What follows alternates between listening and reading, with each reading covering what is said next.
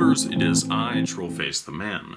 Now, the other day I went to a resale shop and I bought this infinity mirror. Basically, the concept of an infinity mirror is that there's a reflective piece in the back, usually a mirror, uh, some lights in between that and a front glass plate that is tinted. And the idea is, and as you can see, you can actually see me right now. Uh, the idea is is that um, when these lights in the center uh, emit photons, they're light, they reflect off the back panel and they reflect off this front panel and sort of keep bouncing back in between one another. The thing is though is that this front panel isn't completely opaque, which means that it lets a little bit of the light slip through and it basically creates an illusion of depth, like really uh, deep, like something that's very flat can look a lot deeper than it actually is. However, this one is just, well, frankly, it's crap. Um, here's the box for it. It looks pretty old. It looks like it's something you would see like during the 80s or something. Um, but, I mean, I can just plug it in and show you what it looks like. It's not very impressive at all. And I'm going to try and modify this today to make it more are actually impressive. Uh, it puts out 12 volt AC, so not DC, it puts out 12 volt AC, which means there's no uh, rectifier, either half wave or full wave rectifier built into this plug. This is also receiving AC just at a uh, one tenth the uh, level that the wall puts out. Voila! The infinity mirror. I'm just going to grab the box and read what it says on the back. Create a spectacular 3D light show with the flick of a switch. Stare into the mirror and let infinity memorize you. Or mesmerize you. Memorize. mesmerize you. Uh, you can see that there is a little sense of depth. It looks a little bit deeper than the mirror actually should, but it's really not impressive for an infinity mirror. Here, let me turn off the lights so that way you can get a better view at it. These studio lights are, in fact, pretty bright in here, which sort of dampens the effect. Okay, so now that that has been turned off, you can actually see the effect at least a little bit better. Now, the issue with this infinity mirror is they did a lot of things wrong. First off, um, the back is not an actual mirror. It's more like some type of like colorful foil, which does seem to be intentional because it's supposed to make those lines. So that can basically be forgiven. However, making these outside, these inner bits white, is just a terrible idea because it causes a lot of light to be reflected off those walls and basically produce more light that shines right through and it, it just makes it where the effect isn't anywhere near as powerful as it should be. So one of the things I'm going to do is paint that inner wall, the middle wall, black instead of white, and hopefully that should improve the effect a little bit.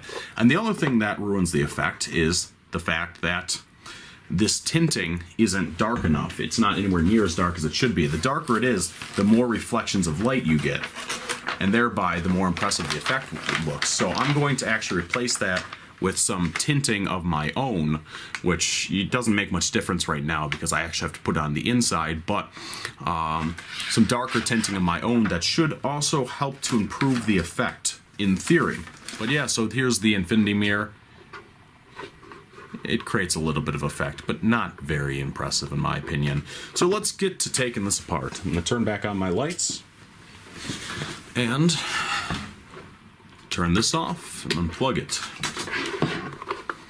So once again, now you can just see it's like a, a, mirror. It's dark on the inside.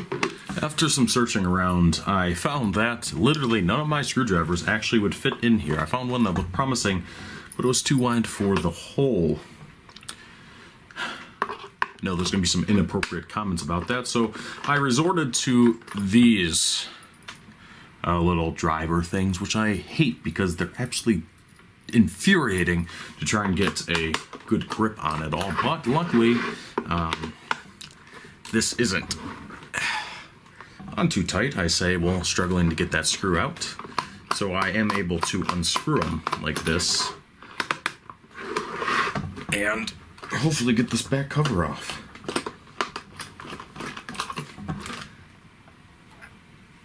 Okay. Oh, that was painless almost. That does actually sound like glass. That is coated glass. I'm surprised about that. Now this mirror is completely loose now. Apparently was just held in place to that little rim there. Which is actually good because it'll make putting the tint on uh, later a lot easier. Alright, so this does in fact have a capacitor in there. Uh, it looks like it might be feeding the LEDs around the rim. I am just going to make sure that is discharged. Oops. Before I continue, even if it's probably only a low voltage capacitor.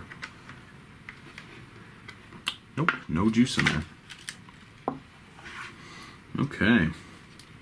Well, I see resistor there. They have a, it's hard to see, but on the other side here they have a chip potted in resin, which is what apparently drives this LED loop.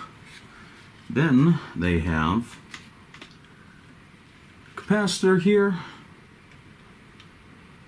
16 volts, 47 nanofarad. A diode here. Um, I don't know if that's supposed to rectify. Yeah, it looks like it's rectifying the. Oh wait, why would you need to rectify that though? Those are. No, it's. I'm not quite sure what that's for. I think it would rectify the LED current. But it looks like it's almost meant to rectify this, but you wouldn't need to rectify this because those are incandescents. I'm not sure why they would do that. But, um, let me see. This is only a 16 volt capacitor. Let's see what the actual voltage in here is. 5.6 volts.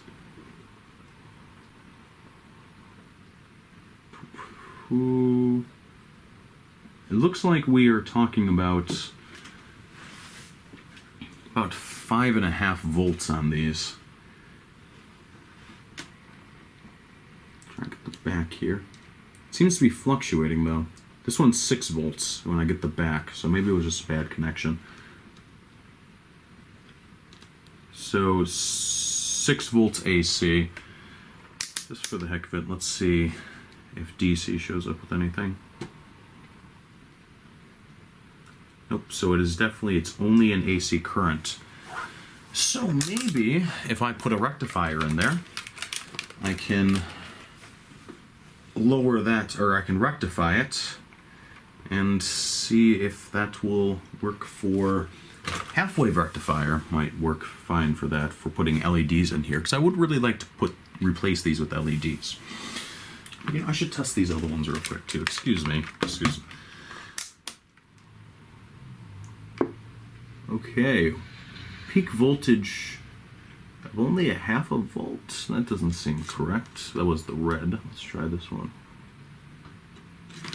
No, see, it must be because it's going through so quickly. I can't properly test the voltage. But there is another way I can sort of try and uh, see an approximate level, which is I have myself some LEDs here, and if I, this is green, jump the connection here. if you guys can see that, this green does in fact light, which means that there is at least a forward voltage of 2.8 volts. Um, and like I said, the green is a lot better color than the one that's currently in here, which is that sort of like nasty lime green you see here. So I might actually replace those LEDs because, like I said, they are just terrible, terrible looking in my opinion. I guess I can start painting the inside white here. Now I'm not going to make you guys sit through all that. So this is just some basic acrylic paint. I'm hoping that it will work adequately. And I got some cheap paint brushes from Home Depot, which basically have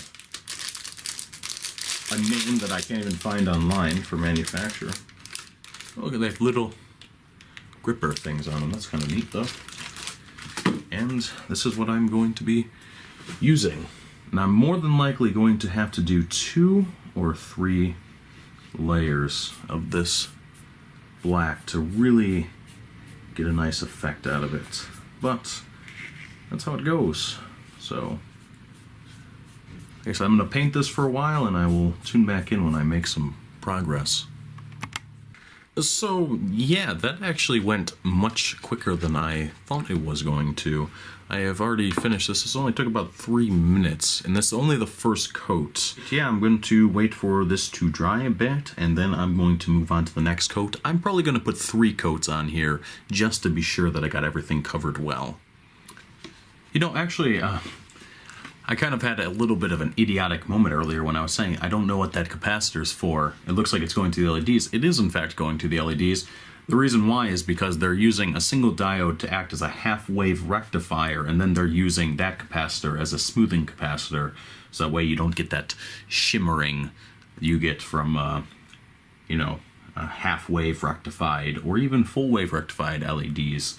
Uh, the thing is, though, is with it strobing like it is, where it goes around in circles, I'm not sure how necessary that was. But if I do replace these for LEDs, I'm basically going to do the same thing here, where I'm going to have a uh, half-wave rectifier and then a diode to help, or not diode, a capacitor to help smooth out the uh, the lights. But these run continuously, so that's a little bit more important in my opinion. Like I said, I am going to go with three layers for this because I don't think two layers is going to cover it well enough. And you actually want to be careful because like right now I played with one area a little bit too much and I basically resaturated the paint underneath and I started pulling up the paint basically doing the same exact thing that I was doing the first time which is just exposing white spots. So I'm actually about to put on the third and final coat of this acrylic paint, but uh, I was sick of waiting for it to dry naturally, so what I did is I actually put back on the cover, the glass cover, and plugged this back in and basically let it sit with the incandescent lights on. I figured because they generate heat, it would help heat up the area and uh, basically dry the paint sooner, which it did, but you can actually see there's a little bit of humidity build up in here now that should slowly air out, but the paint is nice and dry and ready for me to put on my third and hopefully final coat.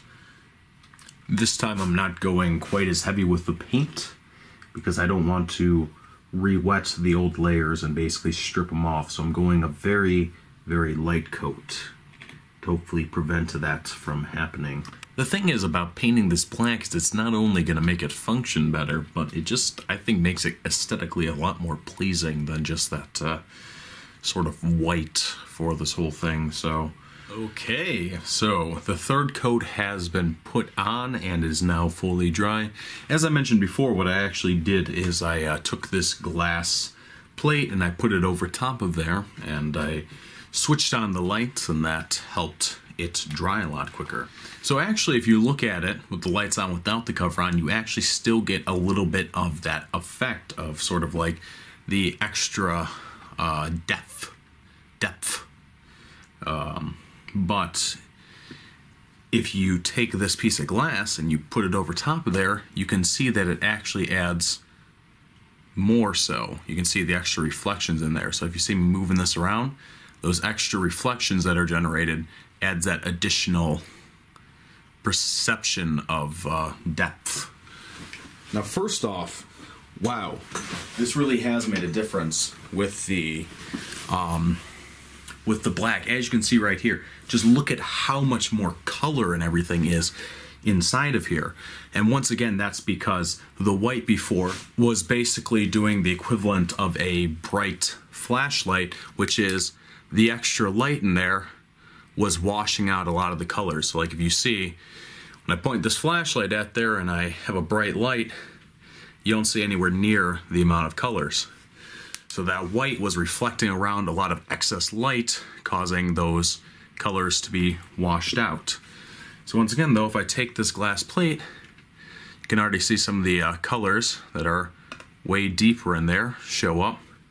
If I put it on, now it really really has the sort of perception of being a lot deeper than it actually is. Of course, it's only this little tiny thing, but you can see a lot of colors going really deeply in there. But we are not done yet. I'm still going to put on uh, a darker tint to hopefully further add to the uh, illusion and possibly replace these with LED lights, which at this point I'm pretty sure that's exactly what I'm going to do.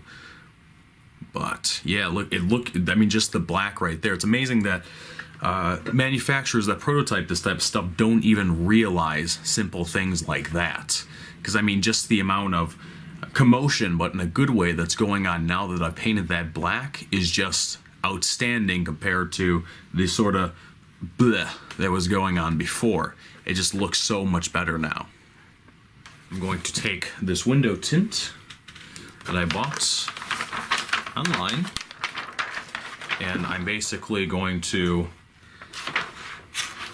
take this disc and lay it out here on this window tint and then take a razor blade and cut around it as precisely as possible and then stick this window tint to this glass disc. And that should add even more depth by trapping more light inside of there. But who knows who knows if it's actually going to work it's only going to uh, or I guess we're only going to see when we actually try it out eh our new mirror which is backed by that window tint I showed you before. Let's see if this uh, if this helps it out. So it's definitely darker, and that's expected because you're lessening the amount of light that can get in. But let's see what happens when I turn off the lights. Yeah, that's right. It's looking nice. We get a lot more actual depth here. The light has been reduced quite a bit, and that's to be expected because like once again we're cutting down the amount of light that can escape but as you can see the actual structures it looks like there's sort of piers of uh, different light in there it looks very very 3d remember this is only a little tiny toy right here but the depth of the light is just so much better now like I said, it actually creates a sort of 3D illusion. I mean, just the black and the window tint has already improved this this toy so much. My glove made a farting sound. uh, anyways, yeah, it's already improved this toy so much, but I'm really hoping to uh, to to bring it even better. Now, one of the things is though, is when I add LEDs in here, because they are actually going to be the exact color, instead of being like a uh, you know like a white or incandescent light that's been coated with some type of coloring to filter out the other spectrums of light, they will be exact colors, which mean they'll be red, green, blue, and white. We won't get so much of that rainbow effect going through there though, because what's actually happening is the light is dividing up into its uh, base components, which is basically a rainbow uh, inside there, give it all that rainbow color. So instead of seeing like red, green spires, blue, green spires. We'll more or less see a lot of green, blue, red spires, which might be a little bit of a trade-off. However, I will still put a white LED in there, which should still, at least for that LED, give a rainbow effect. So it won't hopefully be losing too much uh, for that. All right, so like I said, I am definitely though, I'm gonna start with the simple stuff. I am going to remove these horrible looking LEDs on the side here. Red, yellow, green, red, yellow, green, red, green, yellow, green. Um, maybe this is supposed to be, no, that doesn't, uh, oh my goodness, they, uh, they did that. They have one, two, three, four, five, six, seven, eight, nine, ten LEDs, so they just put two random ones with no correlate. Oh my god. As someone with OCD, that is seriously bothersome. I'm not talking about OCPD, I'm talking about legitimate OCD. That is going to bother me. I'll wonder if I can figure something out for that. One, two, three, four, five, six, seven, eight, nine, ten. Yeah, there's 10 LEDs here. But like I said, I'm going to keep probably the reds in here because the reds don't actually look too bad. They're not as vibrant as uh, reds nowadays, but, uh, you know, it's they're not too bad. I'm going to take out this nasty lime green LEDs and these yellow LEDs like that nasty looking lime green color. that is their old green color, and this is how, but this is how greens look nowadays. I'm sure you can tell the difference between which one looks better. That is just, ugh. Question is, where is a good spot to start? Basically, nowhere. Because the way this is, actually, oh, look at that. Okay. That actually makes desoldering a fair amount easier, to be honest. So that is that's actually a good thing. Okay, I now have marked all the different colors on this side so I can tell what color the LED lights are green, red, green, yellow, green. So um, basically I'm going to start desoldering those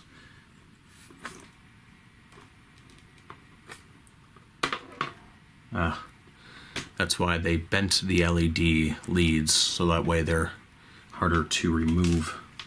Okay, so there's apparently a side that needs to go into.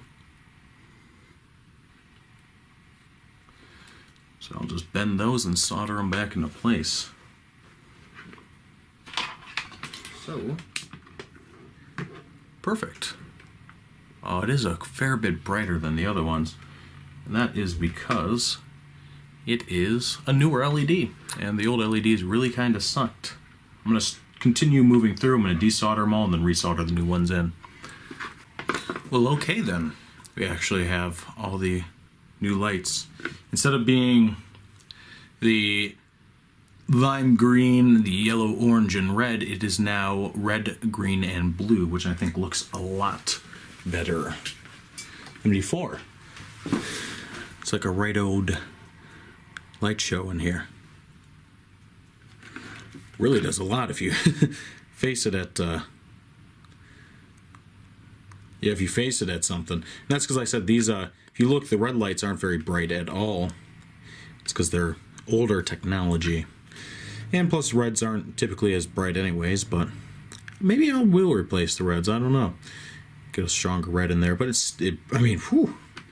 Got some serious color now. A lot of spunk. Let me put it in here and see how it looks. There we go.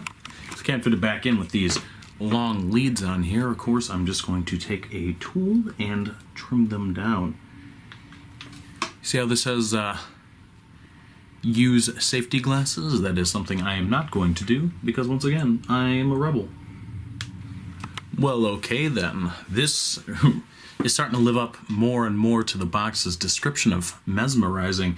Uh, now I think it will actually literally mesmerize you blind because these lights are very bright. Let me put the glass back on, shall I?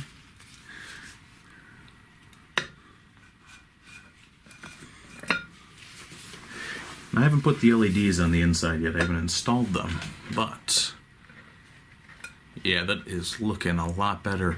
I probably have to um, flatten these tips out a little bit with a file to make it a little less dazzling because the dazzle factor is a little bit high right now, as you guys can see. But it actually, it's not quite as drastic in person as it might look on camera though. It's like a freaking disco over here. Crazy. I mean, that, I mean, Oh, God, that is kind of cool. I, I kind of like that, actually. What's actually kind of funny about this is uh, I told you about how these LEDs are like super duper bright and all. Uh, I actually unintentionally made a disco strober.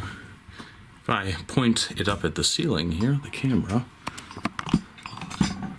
allowing myself to still see by flipping the screen, and I put my hand out you can see that there is quite a party going on in here.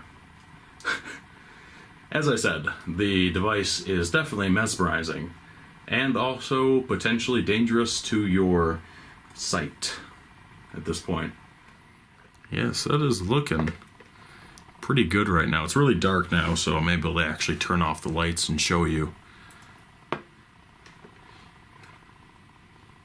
Yeah, looking real good. Not still to the level of effect that I wanted, but we're definitely getting a lot closer than we were with the starting toy. Okay, so I actually personally like the uh, strobing effect that this um, this uh, the lights around the edges give you when it's on. However, it is a little bit overpowering and potentially blinding. So I have a few options. Either I take a file and I flatten out the heads of these LEDs to disperse the light more or uh, diffuse the light more. I replace the resistor in here with a higher value resistor to allow less current to go through. Or I do my one, which is add in a variable resistor in series with this resistor and mount it to the side of the case somewhere where I can turn up and down the resistance value, thereby increasing and decreasing the brightness.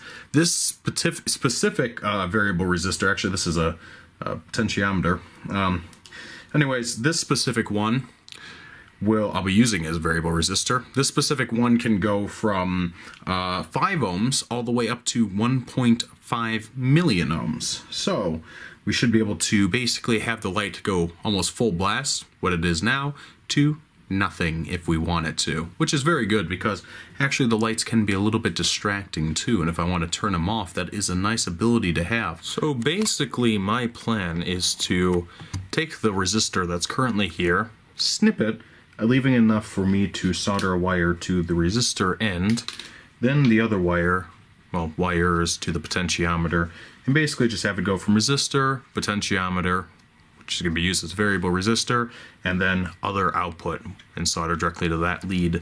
And this resistor is 200 ohms, and I can increase it from 5 all the way up to 1.5 million, which theoretically should be able to just about turn off these lights. Actually, should be able to turn off the lights. Um, and definitely, I would think, but you know, you never know. I'm just going to solder wire right there across there and a wire on what remains of this end right here.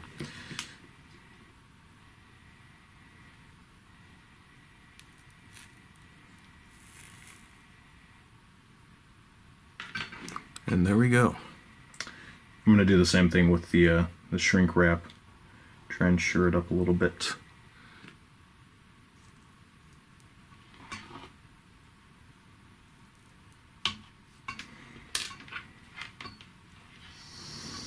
A little bit of heat shrink tubing.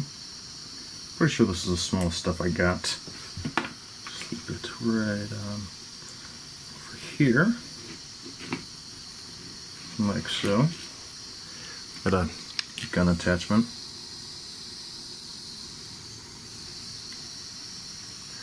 Hopefully that won't break. Then, I got my resistor here I'm going to do the same thing for.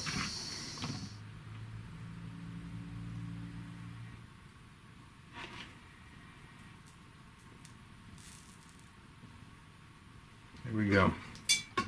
Now in theory, this should be rigged up in series with the other resistor, and if I plug it in, I should now be able to adjust the outside lighting. So this is full blast right now. It's pretty bright. Ooh, two of the lights aren't working. That actually is from before, though. I'll have to fix that again. This one of the solder joints didn't take very well. It doesn't take much to lower the intensity quite a bit. Like this is almost not even on.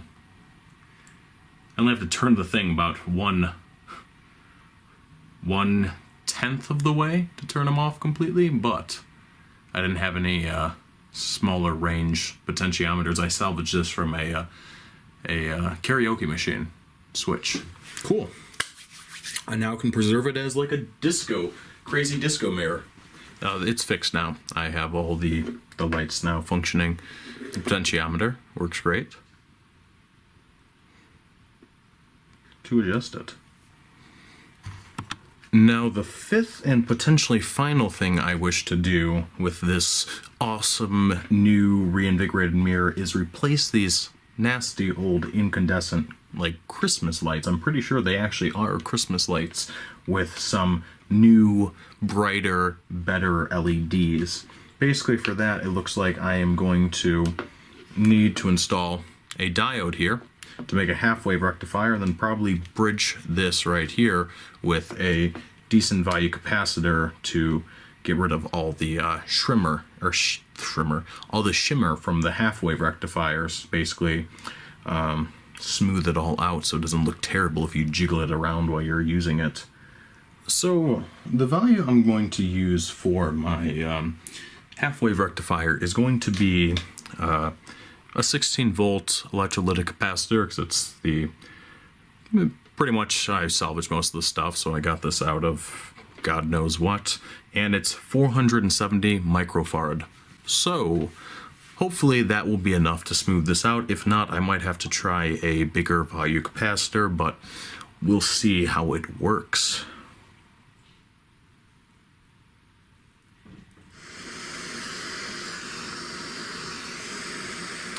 Okay, so that is the diode in, which means this should now be rectified. If everything works right, these lights should be, what, approximately half the brightness?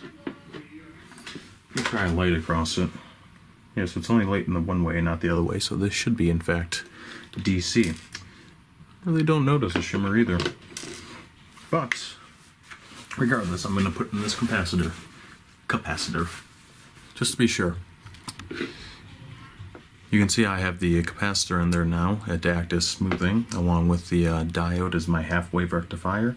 As you can see it is providing a little bit of juice because now if I switch it off takes a second to fade out. I mean it does that normally because they're incandescents but it takes a little bit longer than before.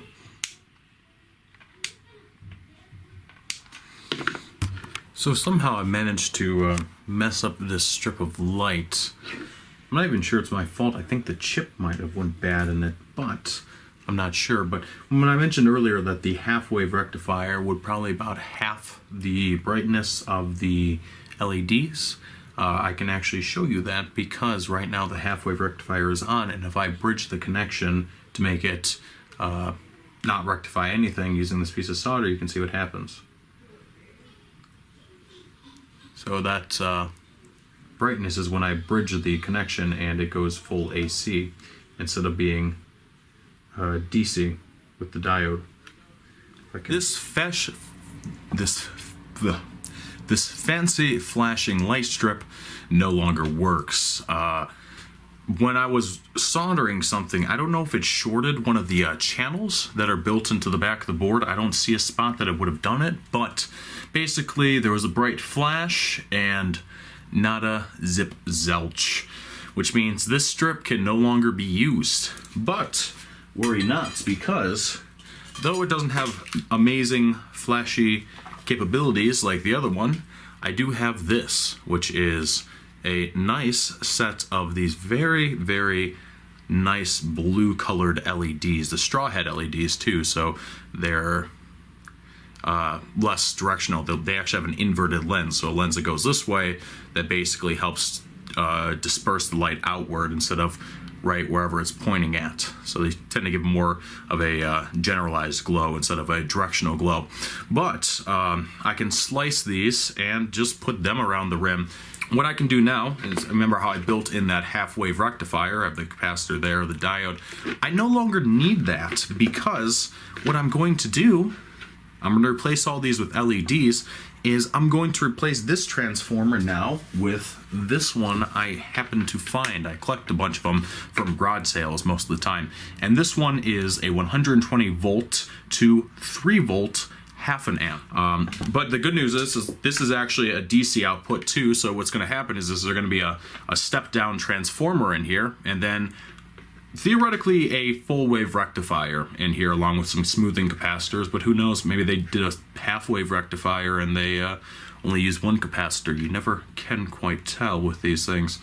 But this should run cooler and it means instead of me having to have a half wave rectifier built into there I can just take this end splice it off put on this other end and have these center lights hooked directly up to the input, and then I can have these outer lights, which I'm going to snip and put them around the edges. So there's not going to need to be like a resistor on each one. I will put a resistor uh, in series with all of the lights just to make sure, or uh, to basically lower down the uh, the amperage a little bit, so that way I don't have to worry about them being overpowered. But in general, I mean, it's just going to help. Excuse me, that was my phone. It's just going to make things a lot easier. I'm not going to have to put a resistor on each and every single light to make sure they're not getting over voltaged or more appropriately over amped. So I'm going to start by desoldering the this half wave rectifier I built into here, which is no longer necessary because of the new thing I'm going to do. Um, but I can just basically resolder these wires together and that's pretty much it except for removing that capacitor which yeah, maybe I should leave the capacitor on for some extra smoothing but yeah you know what is is. Yeah so this basically just has input right here the input plug to a switch and then it was to these lights and to that other blinking board in parallel but now we're pretty much just going to do the same thing except for remove the uh, the other board and replace this current power supply with a 3 volt power supply instead of the uh, 12 volt it came with. And hopefully it won't catch fire like this thing probably had the potential to do. So the other thing I'm going to do is I'm going to swap these transformers. I'm going to basically uh, cut off this end of this one and put it on this one right here. And it would be a lot simpler if I just had a 3 volt transformer with this end on it, but I haven't actually really seen very many power transformers, low power boxes, power supplies, whatever you want to call them, uh, with this end on them before. Um, it's really kind of an odd end. So basically to do this, I'm just going to cut one end off of one and put it on the other.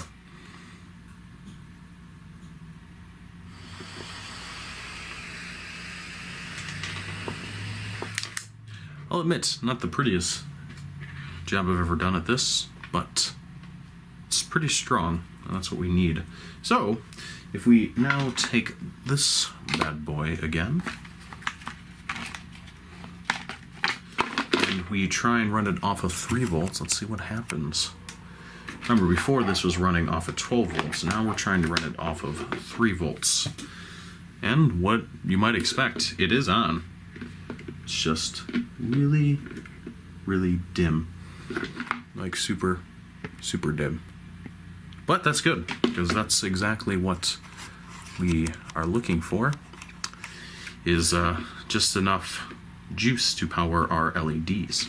I suppose the next thing to do is start desoldering these bulbs and uh, putting in LEDs both blue and green are now soldered in. I'm probably going to move to white before I move to red and yellow because I worry that the uh, red and yellow might burn up. So I want to put a resistor on or at least make sure they're not going to before I start soldering those in at least.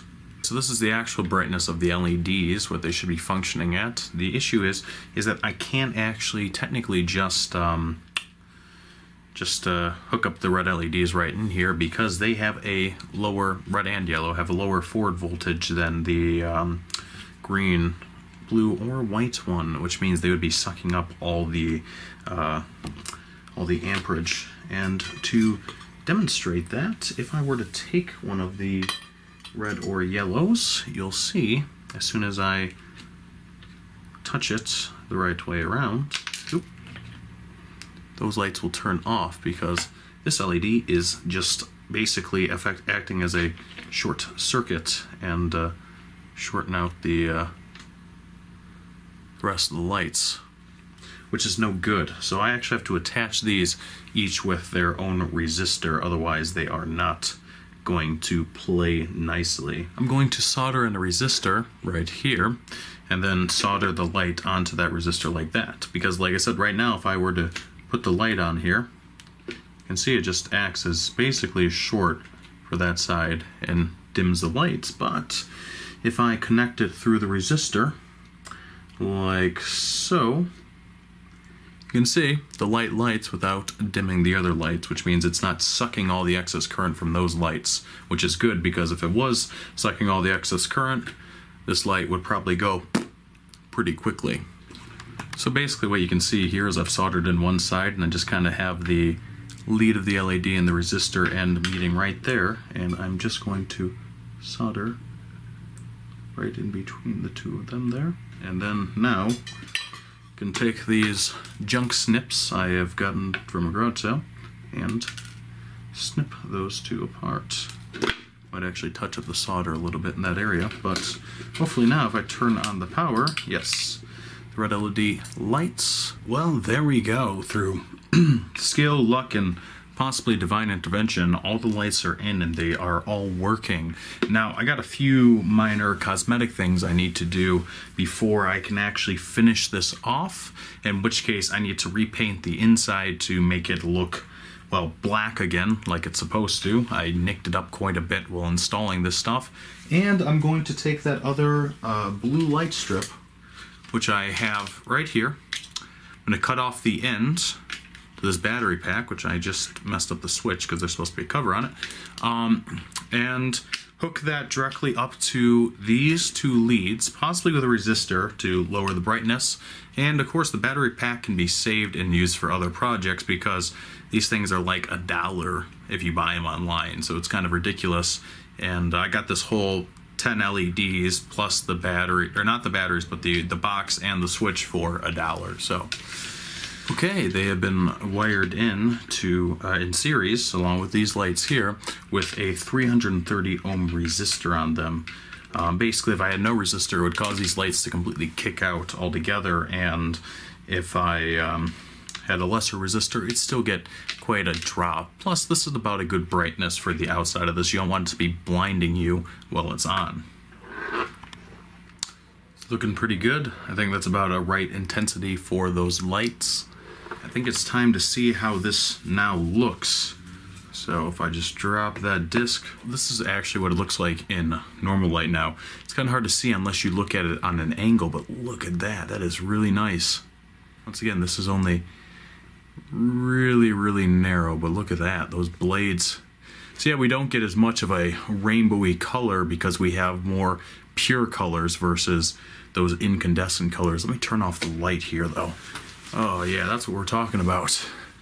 Now the cover still hasn't put on yet, so it's not quite finished, but that is creating a nice, nice effect. Now there's one thing that bothers me.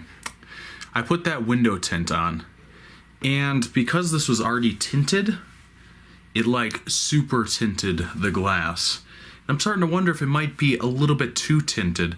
So just to be sure that I'm not actually messing with the effect by having too much tint, which would work fine if we had brighter LEDs, but uh, make sure I don't have too much tint. I'm going to peel off that tinted layer and take another look at it without the extra tinting on and see how it looks then. So yeah, basically just as I theorized, with it taken off here, you see a lot more going on. There's a lot more clutter, but it doesn't quite look as deep. However, if you put the window tint on, like right over the top here, it looks deeper, but you don't see anywhere near the amount of light coming through. Which once again, the whole concept of this is light bouncing back and forward between the um, between the back reflective plate and the glass, and basically that light being trapped in there and moving back and forward creates this illusion of this depth. I think I might actually keep it like this though, just because it is like so many different colors going on and there. It looks really neat. Well, okay, it is actually completely done now. Um, I basically feel that it went from something that I'd be embarrassed to have in my house into something that's actually pretty cool and I'd like to show other people. Let's take a look at it. Da, da, da, da, da, Yeah. Now I do know there's a little tiny nick right in the center there that was from where some hot solder fell onto and it damaged the foil there. I'll probably at some point grab uh, some silver acrylic paint and fix that, just that little tiny area, which it won't have the same effect in that area, but at least it'd be a lot less noticeable than that white. but the effect is a lot better than it was before. I think removing the extra uh, tinting was a good idea because, like I said, even though if it makes a little extra depth, it just wasn't as colorful. It's kind of hard to see because of this light, so let me turn off this light too. Oh yes, look at that. That is really actually pretty cool. And like I said before, I would have been almost embarrassed to have it in my house. Now, I look at it and it's just like, wow, I really like that actually. Very cool effect. Let me get a shot with the camera from different angles. And it even comes with its own handy dandy little stand right here so I can set it up like so and show you guys from a different view.